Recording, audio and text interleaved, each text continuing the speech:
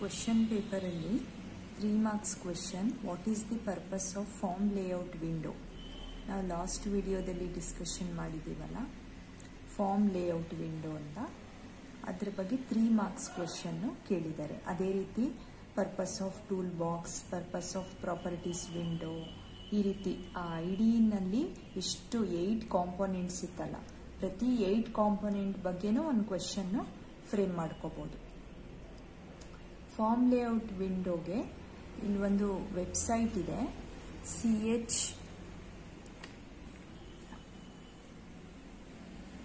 C H E G G dot com ಅಂತ. ಇದರಿಂದ ಇಲ್ಲಿ ಚೆನ್ನಾಗಿತ್ತು ಎಕ್ಸ್ಪ್ಲನೇಷನ್ ಇದು ಹೇಳ್ತಾ ಇದ್ದೀನಿ.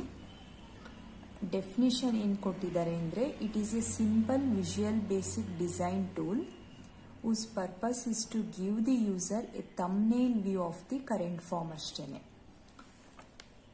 ನೀವು ಆಗಲೇ ನಾನು ಐ ಡಿ ವಿಡಿಯೋನಲ್ಲಿ ತೋರಿಸಿರೋದು ನೋಡಿರ್ಬೋದು. ಒಂದು ಬ್ಲ್ಯಾಕ್ ಕಲರು, ಸ್ಮಾಲ್ ವಿಂಡೋ. ಅದು ತಮ್ನೇಲ್ ಅಂತ ಎಂ ಎಸ್ ವರ್ಡಲ್ಲೂ ಬರುತ್ತೆ. Short form. ಆ ವಿಂಡೋ ಏನಿದೆ, ಅದರದ್ದೊಂದು ಶಾರ್ಟ್ ಫಾರ್ಮ್ ಥರ ಸ್ಕ್ರೀನ್ದು ಕಾರ್ನರಲ್ಲಿ ಕೂತ್ಕೊಳ್ಳುತ್ತೆ.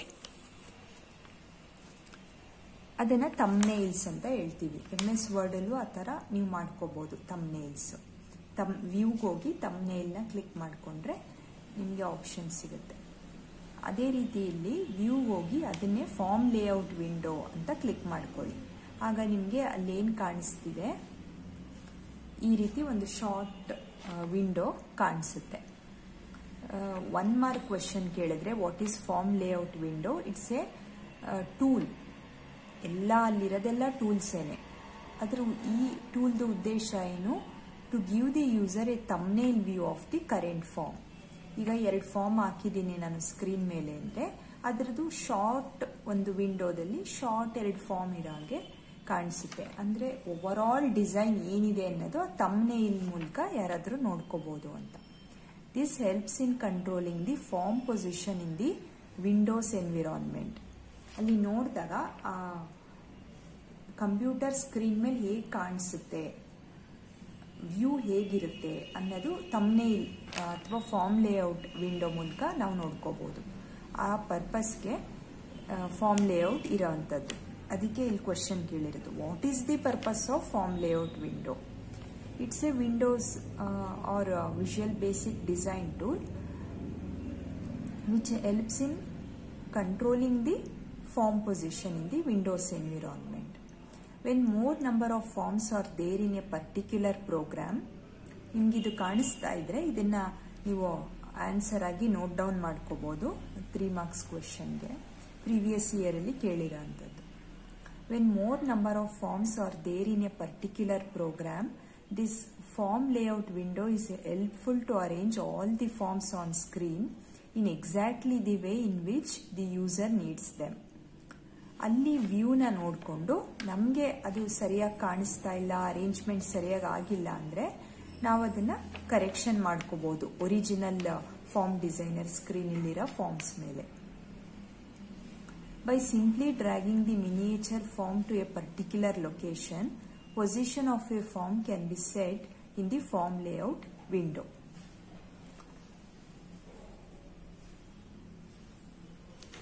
ಇಷ್ಟು ಬರೆದ್ರೆ ಸಾಕು three ಮಾರ್ಕ್ಸ್ಗೆ screen location to for form in Visual Basic can be set at design time using the left time top properties in the properties window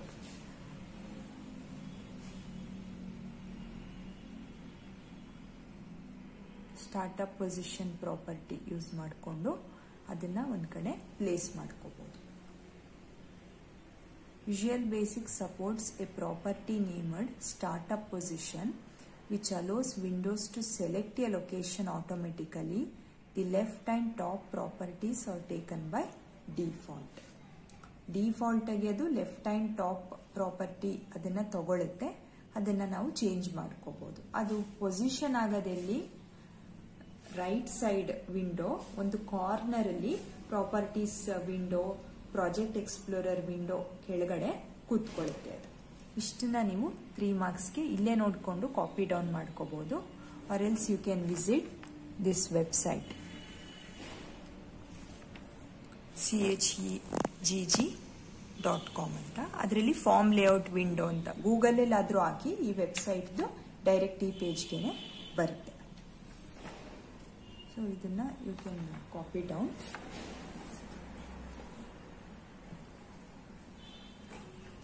ಮತ್ತೆ ಈಗ ನೋಡೋಣ. ವಿ ಬಿನಲ್ಲಿ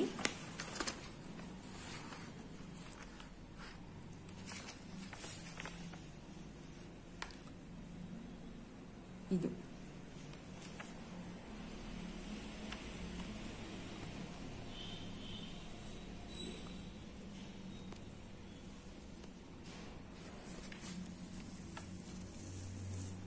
ಕಾಣಿಸ್ತಾ ಇರ್ಬೋದು.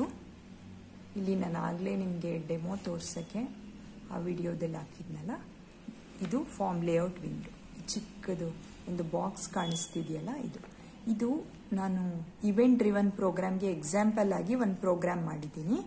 ಅದಕ್ಕೆ ಫಾರ್ಮ್ ಲೇಔಟ್ ವಿಂಡೋ ಇದು. ಆಟೋಮೆಟಿಕ್ಕಾಗಿ ಬಂದಿದೆ. ನಾನು ಒಂದೇ ಫಾರ್ಮ್ ಹಾಕಿರೋದು.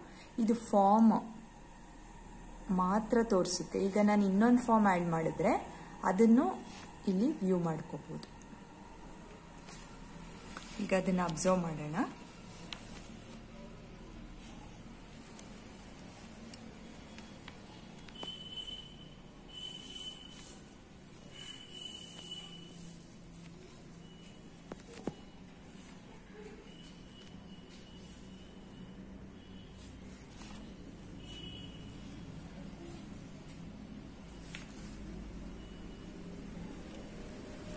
ನಾನಿಲ್ಲಿ ರೈಟ್ ಕ್ಲಿಕ್ ಮಾಡಿ. ಆ್ಯಡ್ ಫಾರ್ಮ್ ಅಂತ ಕೊಡ್ತೀನಿ. ಇನ್ನೊಂದು ಫಾರ್ಮು ಆ್ಯಡ್ ಆಯಿತು. ನಾನು ಜಸ್ಟ್ ಕ್ಲೋಸ್ ಮಾಡ್ತೀನಿ. ಡೆಮೋ ಪರ್ಪಸ್ಗೆ ತಗೊಂಡಿರೋಂಥದ್ದು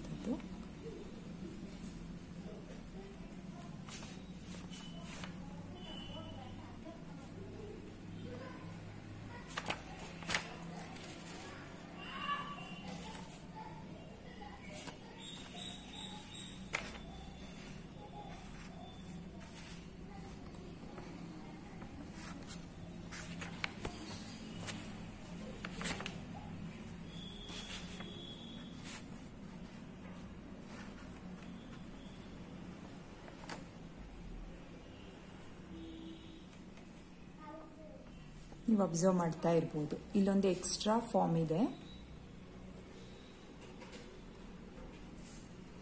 ಫಾರ್ಮ್ನ ನಾನು ಹಾಕಿದ್ಮೇಲೆ ಇಲ್ಲೊಂದು ಫಾರ್ಮ್ ಒನ್ ಅಂತಲೂ ಬಂತು.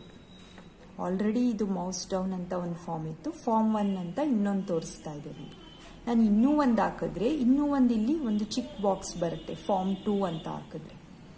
ಚೇಂಜ್ ಆಯಿತು. ಫಾರ್ಮ್ ಲೇಔಟ್ ವಿಂಡೋ ಈ ರೀತಿ ಸ್ಕ್ರೀನ್ ಹೇಗಿರುತ್ತೆ? ಎಷ್ಟು ಫಾರ್ಮ್ಸ್ ಇರುತ್ತೆ? ಅದಷ್ಟು ಒಂದು ಸ್ಮಾಲ್ ಒಂದು ರೆಪ್ರೆಸೆಂಟೇಷನ್ ಥರ ಇಲ್ಲಿ ಬರುತ್ತೆ. ಅದೇ ಪರ್ಪಸ್ಸು ಅದನ್ನು ನೋಡಿಕೊಂಡು ಫಾರ್ಮ್ ಪೊಸಿಷನ್ ನಾವು ಸರಿ ಮಾಡ್ಬೋದು. ಇಲ್ಲಿ ಗೊತ್ತಾಗ್ತಾ ಇದೆ. ಅದು ಸರಿ ಇಲ್ಲ ಫಾರ್ಮ್ ಪೊಸಿಷನ್ ಅನ್ನೋದು. ಯಾಕಂದರೆ ಕಂಪ್ಲೀಟ್ ಅದೇ ಆಕ್ಯುಪೈ ಮಾಡ್ಕೊಂಡಿದೆ. ಇಲ್ಲಿ ನೋಡಿಕೊಂಡು ನಾವು ಫಾರ್ಮ್ ಲೇಔಟ್ ವಿಂಡೋ ನೋಡಿಕೊಂಡು ಅದನ್ನು ಕರೆಕ್ಷನ್ ಮಾಡ್ಕೋಬೋದು. ಈಗ ಇದನ್ನು ಕ್ಲೋಸ್ ಮಾಡ್ತೀನಿ. ನೋಡಿ. ಇಲ್ಲಿಂದ ಅದು ಮೂವ್ ಆಯಿತು ಇನ್ನೂ ಒಂದು ನಾನು ಫಾರ್ಮ್ ಹಾಕ್ತೀನಿ. Right click add form just add ಮಾಡ್ತಾ ಇದ್ದೀನಿ. ನನಗೆ ಈ ಈ ಡೆಮೋಗೆ ಏನು ಅವಶ್ಯಕತೆ ಇಲ್ಲ ಇದು. ಇನ್ನೊಂದು ಫಾರ್ಮ್ ಹಾಕಿದ್ದೀನಿ ನೋಡಿ. ಫಾರ್ಮ್ ಟೂ ಅಂತ ತೋರಿಸ್ತಾ ಇದೆ. ಈಗ ಫಾರ್ಮ್ ಒನ್ನು ಓಪನ್ ಮಾಡ್ಕೋತೀನಿ. ಫಾರ್ಮ್ ಒನ್ ಫಾರ್ಮ್ ಟೂ ಮತ್ತು ಇದು. ಇಷ್ಟು ಫಾರ್ಮ್ ಇದ್ದಾವೆ ನಾನು ಯಾವುದನ್ನ ಕ್ಲಿಕ್ ಮಾಡ್ತಾ ಇದ್ದೀನಿ, ಅದು ಇಲ್ಲಿ ಹೈಲೈಟ್ ಆಗ್ತಾ ಇದೆ.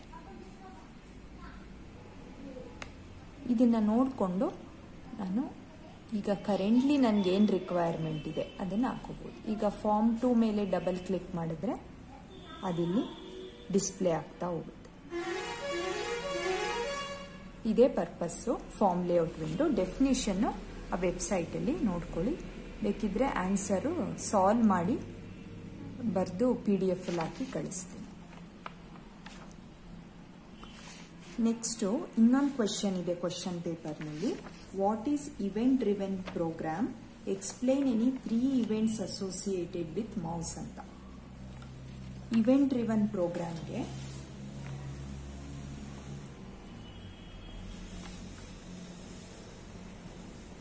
ಇದು ಎಕ್ಸಾಂಪಲ್ ಪ್ರೋಗ್ರಾಮು ನಾನಿಲ್ಲಿ ಫಾರ್ಮ್ ಡಿಸೈನ್ ಮಾಡಿ ಇಟ್ಕೊಂಡಿದ್ದೀನಿ.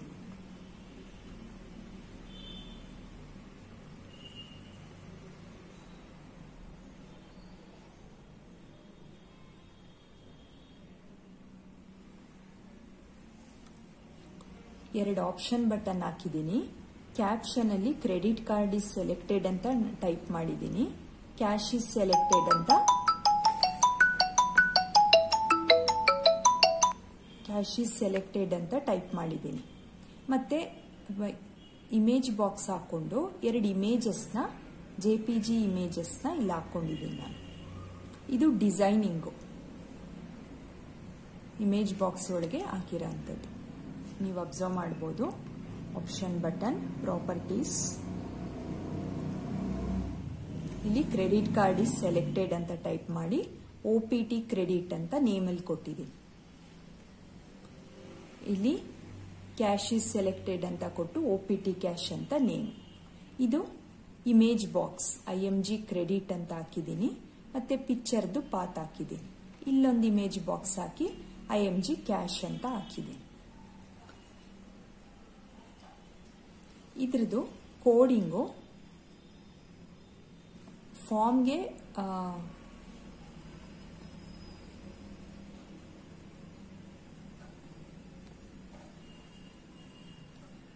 F R M mouse down ಅಂತ ಫಾರ್ಮ್ಗೆ ನೇಮ್ ಕೊಟ್ಕೊಂಡಿದ್ದೀನಿ. ಕ್ಯಾಪ್ಷನ್ ಮೌಸ್ ಡೌನ್ ಅಂತ ಹಾಕಿದ್ದೀನಿ.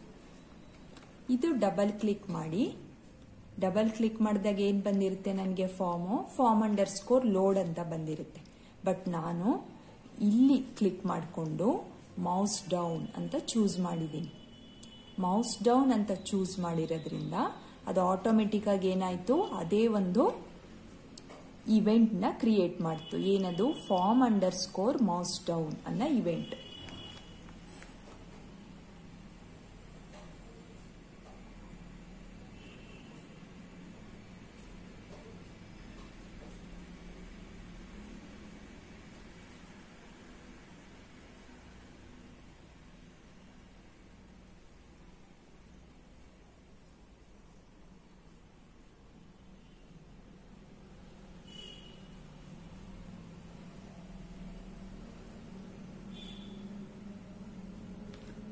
ನಿಮಗೆ ಪರ್ಟಿಕ್ಯುಲರ್ ಆಗಿ explain any three events associated with mouse ಅಂತಾನೆ ಕೇಳಿದ್ದಾರೆ. ಸೊ ಅದಕ್ಕೆ ಈ ಎಕ್ಸಾಂಪಲ್ಲೇನೆ ನಾನು ತಗೊಂಡಿರೋಂಥದ್ದು.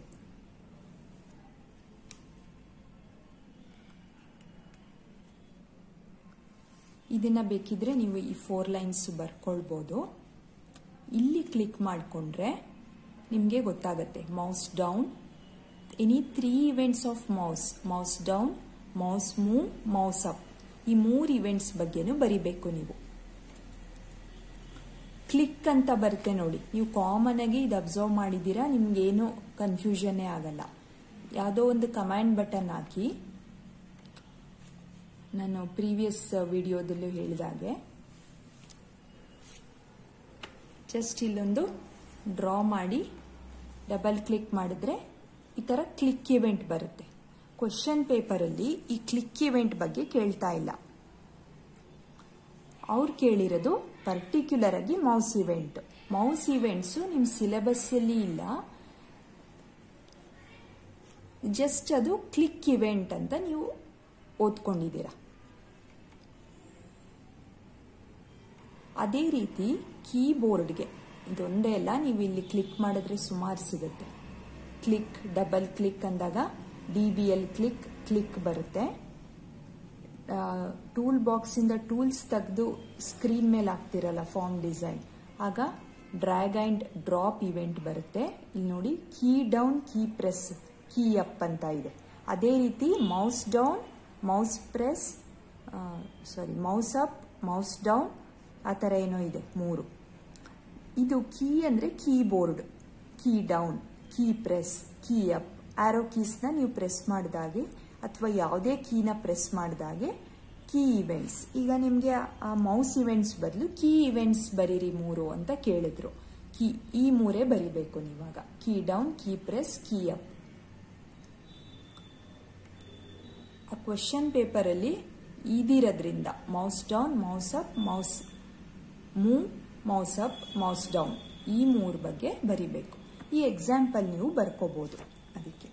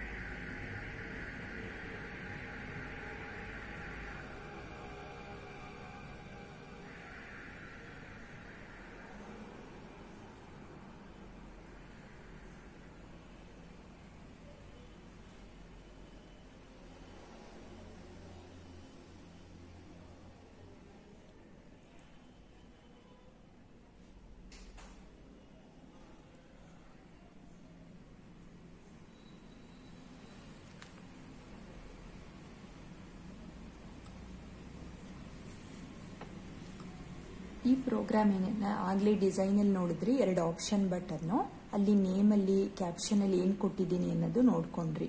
ಫಸ್ಟ್ ಆಪ್ಷನ್ ಬಟನ್ಗೆ ನೇಮಲ್ಲಿ ಒ ಪಿ ಟಿ ಕ್ರೆಡಿಟ್ಟು ಇನ್ನೊಂದಕ್ಕೆ ಒ ಪಿ ಟಿ ಕ್ಯಾಶ್ ಅಂತ ಕೊಟ್ಟಿದ್ದೀನಿ. ಆ ಕ್ಯಾಶ್ ಇರದೇ ಅಲ್ಲಿ ಎರಡಾಗಿರೋದ್ರಿಂದ ಒ ಪಿ ಟಿ ಕ್ಯಾಶ್ ಅವಶ್ಯಕತೆ ಇಲ್ಲ. ಎಲ್ಸ್ ಅಂದರೆ ಆ ಕ್ಯಾಶ್ ಅಂತ ಕೊಟ್ಟಿದ್ದೀನಲ್ಲ, ಅದೇ ಸೆಲೆಕ್ಟ್ ಆಗುತ್ತೆ. ಇಫ್ ಇಟ್ ಈಸ್ ಟ್ರೂ ಅಂದರೆ ನಾನು ಆ ಆಪ್ಷನ್ ಬಟನ್ ಸೆಲೆಕ್ಟ್ ಮಾಡಿದ್ರೆ then I M G credit dot move x comma y ಇದು positions horizontal x axis position ಇದು ವೈ ಆಕ್ಸಿಸ್ ಪೊಸಿಷನ್ನು ನಿಮ್ಮ ಮೌಸ್ ಇರುತ್ತಲ್ಲ, ಆ ಮೌಸು ಕನೆಕ್ಟೆಡ್ ಟು ಕಂಪ್ಯೂಟರ್ ಅದು ಈ ಪೊಸಿಷನ್ ಮೇಲೇ horizontal axis vertical axis basis ಮೇಲೇ ಅದು ವರ್ಕ್ ಮಾಡೋ ಅಂಥದ್ದು. ಇಲ್ಲ ಅಂದರೆ ಎಲ್ಸ್ ಸೆಕೆಂಡ್ ಬಟನ್ ನಾನು ಚೂಸ್ ಮಾಡಿದ್ರೆ I M G cash dot move x comma y ಅಂತ ಬರುತ್ತೆ. ಎಂಡ್ ಇಫ್ ಈ ಮೂವ್ ಅಂತ ಇದೆಯಲ್ಲ, ಈ ಕೀವರ್ಡ್ ಆಲ್ರೆಡಿ ಬಿಲ್ಟ್ ಇನ್ ಇರುತ್ತೆ. ಅಸೆಟ್ ಫೋಕಸ್ ರಿಫ್ರೆಶ್ ಅಂತ ಲಾಸ್ಟ್ ವಿಡಿಯೋದಲ್ಲಿ ನೋಡಿದ್ರಲ್ಲ ಬಿಲ್ಟ್ ಇನ್ ಮೆಥಡ್ಸು ಆ ರೀತಿ ಮೂವ್ ಕೀ ಇವೆಲ್ಲ ಮೆಥಡ್ಸ್ ಆಲ್ರೆಡಿ ಇರುತ್ತೆ. ಮೌಸ್ದು ಏನು ಅದರದ್ದು ಬಿಹೇವಿಯರು ಮೂವ್ಮೆಂಟ್ ಆಗುತ್ತೆ ಅದು. ಕೀದು ಏನು ಬಿ, ಕೀಬೋರ್ಡ್ದು ಏನು ಬಿಹೇವಿಯರು ಕೀನ ಪ್ರೆಸ್ ಮಾಡ್ತೀವಿ. ಸೊ ಪ್ರೆಸ್ಸಿಂಗು ಅದರದ್ದು ಬಿಹೇವಿಯರು ಮೂಮೆಂಟು ಮೌಸ್ದು ಬಿಹೇವಿಯರು ಸೊ ಆ ಬೇಸಿಸ್ ಮೇಲೆ ಮತ್ತೆ ಮೌಸ್ ಮೂಮೆಂಟ್ ಮಾಡ್ತೀವಿ. ಕೆಲವೊಂದು ಸತಿ ಕ್ಲಿಕ್ಕು ಮಾಡ್ತೀವಿ. ಆಗ ಕ್ಲಿಕ್ಕು ಅದು ತಕ್ಕ ಹಾಗೆ ಕಮ್ಯಾಂಡ್ ಬಟನ್ ಅಸೋಸಿಯೇಟೆಡ್ ಆಗಿರುತ್ತೆ. ಕ್ಲಿಕ್ಕು ಆ ಬಿಹೇವಿಯರ್ ಆ ಪರ್ಟಿಕ್ಯುಲರ್ ಮೂಮೆಂಟಲ್ಲಿ ಅದ್ರ ಬಿಹೇವಿಯರ್ ಆಗಿರುತ್ತೆ. ಇದೇ ನಾವು ಲಾಸ್ಟ್ ವಿಡಿಯೋದಲ್ಲಿ ಡಿಸ್ಕಷನ್ ಮಾಡಿದ್ದು. ಈಗ ಈ ಪ್ರೋಗ್ರಾಮ್ನ ರನ್ ಮಾಡ್ತೀನಿ ನಾನು. ರನ್ ಮಾಡಿದಾಗ ಇಲ್ಲಿ ನೋಡಿ ಡಿಫಾಲ್ಟ್ ಆಗಿ ಕ್ರೆಡಿಟ್ ಕಾರ್ಡ್ ಸೆಲೆಕ್ಟ್ ಆಗಿದೆ. ಡಿಫಾಲ್ಟ್ ಆಗಿ ಕ್ರೆಡಿಟ್ ಕಾರ್ಡ್ ಸೆಲೆಕ್ಟ್ ಆಗಿರೋದ್ರಿಂದ ನಾನು ಸೆಲೆಕ್ಟ್ ಮಾಡಕ್ ಹೋಗಲ್ಲ. ಇಲ್ಲೆಲ್ಲಾದರೂ ಜಸ್ಟ್ ಕ್ಲಿಕ್ ಮಾಡ್ತೀನಿ. ಅಂದರೆ ಇದು ಲ್ಯಾಪ್ಟಾಪಲ್ಲಿ ಏನು ಟಚ್ ಪ್ಯಾಡ್ ಇದೆ it is considered as mouse ಅಂತಾನೆ. ನೋಡಿ. ಕೋಡಿಂಗ್ ಆ ಥರ ಇದೆ. ನಾನು ಎಲ್ಲೋ ಒಂದು ಖಾಲಿ ಜಾಗದಲ್ಲಿ ಕ್ಲಿಕ್ ಮಾಡ್ತೀನಿ. ಇನ್ನು ಇಲ್ಲೆಲ್ಲೋ ಕ್ಲಿಕ್ ಮಾಡ್ತೀನಿ. ಇದೇ ಇವೆಂಟ್ ಡ್ರಿವನ್ ಪ್ರೋಗ್ರಾಮಿಂಗ್. ನೆಕ್ಸ್ಟು ಇದು ಕ್ಲಿಕ್ ಮಾಡ್ತೀನಿ. ಈ ಥರ ಮೂಮೆಂಟ್ ಆಗುತ್ತೆ.